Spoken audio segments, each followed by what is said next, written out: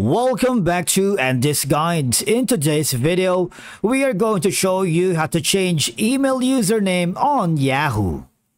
Let's begin. Now, the first thing that you need to do is to log in using your credentials. If this is your first time in Yahoo, I need you to click on the create an account option. And from here, just follow the on-screen instructions and you're good to go. Now, changing your Yahoo email username is an easy and a straightforward process, especially if you wanted to change your username if you think it has been exposed in data breaches or you suspect it's being targeted by phishing attempts. Obviously, the most practical way is to change your username so that it can reduce the risk of unauthorized access or identity theft. Now, it can also help mitigate spam or unwanted emails that might be flooding your inbox due to the current address being widely known. Now, for us to be able to change the email username on Yahoo, I need you to click on the upper right corner where you can click on the settings. And from here, click on the more settings option. Now here, I need you to click on the mailboxes and then simply click on the mailbox list. Because when you do that, you would be able to edit your name here. For example, I'm gonna be um, putting in my name now.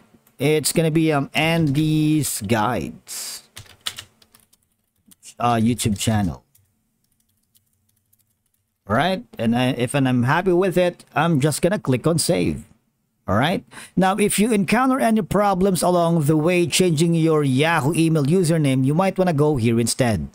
Go to the Yahoo Help Center, and from here you can browse by topic. Alright?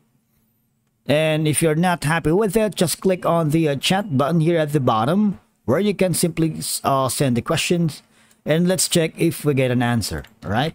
Type it in if you're not happy with it, you have also the option to click on the contact us option here. All right. Now you can sign up online or call these numbers 800-608-1059.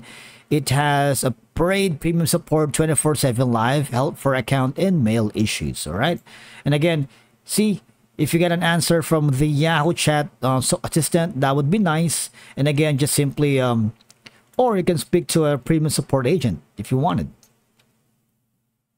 Alright, so from here, click on yes.